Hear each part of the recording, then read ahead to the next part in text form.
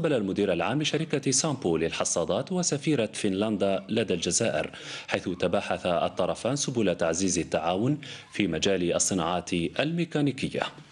نحن الآن مع فنلندا موجودة في شمال أوروبا. ننطلق في مضاعفة الحاصدات وإنتاج الحاصدات بالنسبة للفلاحين. الحاصدات آه، هذه آه، في الحقيقة مرتبطة بطلب قوي. عند الفلاحين الجزائريين وإن شاء الله سنرفع الإنتاج من 500 وحدة آلة إلى 1000 آلة وهذا لنغطي كما قلت الطلب الموجود في السوق الجزائرية. نحن سعداء بعقد هذه الشراكة بين الجزائر uh, وفنلندا.